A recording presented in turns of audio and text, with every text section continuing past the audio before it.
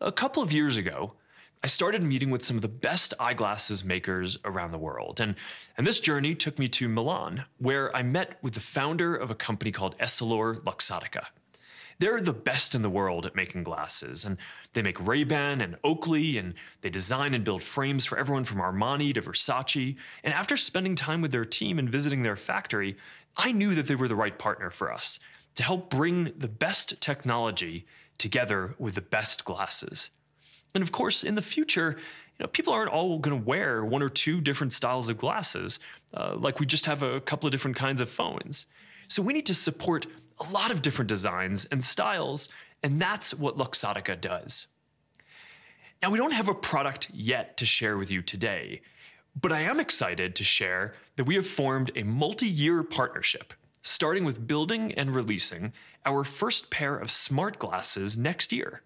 Now, I can't go into full product details yet, uh, but they're going to be the next step on the road to augmented reality glasses. And they look pretty good too. So here's a quick video that our team put together.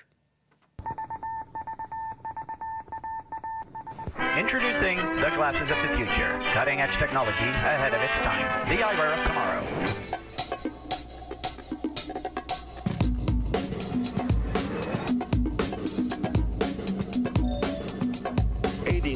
Cause of science.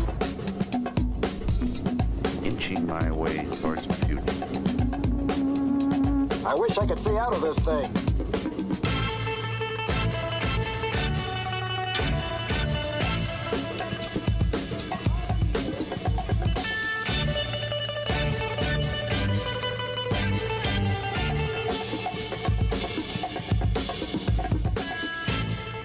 All right, so this is going to be a big milestone in starting to integrate the core technologies into a regular glasses form factor and seeing how people use them.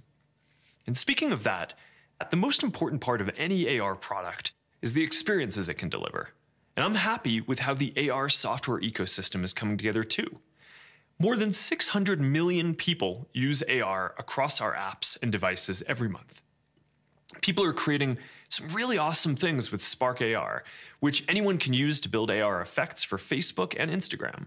There's also AR shopping technology that lets you see how furniture is going to look in your room, or how makeup or glasses are going to look on your face before you buy them.